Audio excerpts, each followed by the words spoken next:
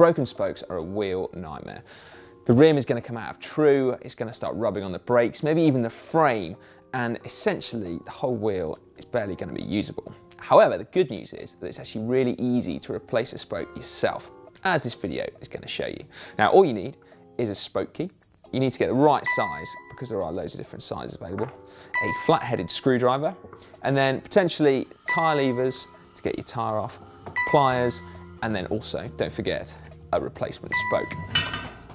Now, spokes come in loads of different lengths and also types. It depends very much on the depth of your rim, the size of your wheel, in fact, the type of hub you've got, and then what spokes are used in the first place. Very simply, you can measure one of the other spokes on the wheel to get the right length. You go from the inside of the elbow right to the tip of the spoke, but you have to be quite accurate to within plus or minus a couple of millimeters. So it might actually be easier to take the whole wheel to your local bike shop and get them to use their expertise to help you buy a replacement spoke. Start by removing the broken spoke. Now you need to be a little bit careful when removing the end that's broken near the nipple because what we want to avoid is actually the whole lot getting lost inside the rim. It's not possible on this because the rim's so shallow, but on a deeper section carbon wheel, it can actually be a major annoyance.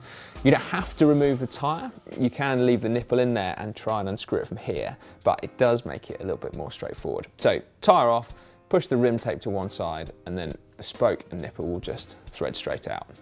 You can then hopefully just unscrew it like that. But quite often you can actually find that the spoke and the nipple will seize together, in which case it's just simplest to replace the nipple as well as the spoke.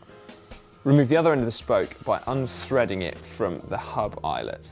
Now, you might find that in order to do that last bit, you actually need to remove the cassette on your back wheel, if that's the side that the spoke's broken, or indeed a disc rotor if you're running discs. Broken spoke completely removed, it's now time to thread the new one in. And at this point, we need to have a little look to see exactly how the wheel has been laced. So it could be three cross, meaning that the spoke crosses three other spokes on its way from the hub to the rim, like this one. Two cross or straight pull, meaning that the spoke goes directly from the hub to the rim without crossing another. And then we also need to pay attention to see which side the spoke needs to be threaded from. So if you have a look closely, these alternate between being threaded from the outside of the hub to the inside of the hub. And in this particular instance, my new spoke needs to be threaded from the inside of the hub.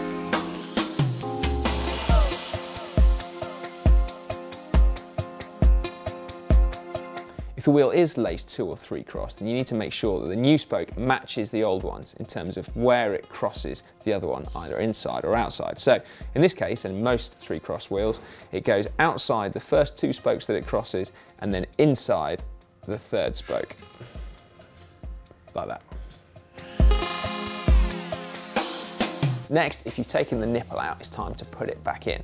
And this is a job that can actually be made a lot simpler if you have a spare spoke lying around or a suitable length of your old broken spoke because you thread it in to the opposite end of the nipple to normal several times and then you have a handy poking device for threading it back through the rim, which is particularly useful on those deep section wheels because you really, really, as I said before, don't want to lose that nipple inside the rim.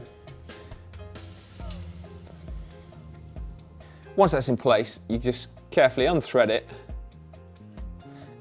and then use your flat bladed screwdriver to start tightening the nipple onto the spoke until there's enough nipple through the rim for you to attach a spoke key. Now it's just a case of tightening the spoke to the right tension and truing the wheel, which is something of an art form in itself. But in essence, the key thing to remember is that as you tighten the spoke, it'll pull the rim over to the side of the wheel that the spoke originates from. So in this case, the spoke comes from that side of the hub, so it pulls the wheel in that direction. Now, you will obviously need to put the, either the wheel back in your bike so that you can actually get a sense of whether it is being true or in a truing stand and that'll make the job much, much easier. But we have, of course, a video showing you exactly how to true your wheel, which goes into much, much more detail. You can get through to that just by clicking up there. or to see how you might get home from a ride if you've broken a spoke whilst you're out, then we've got a roadside video just down there.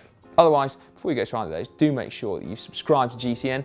Every week we will do a maintenance video, and so if you subscribe, then you'll be in exactly the right place to catch it as it comes out.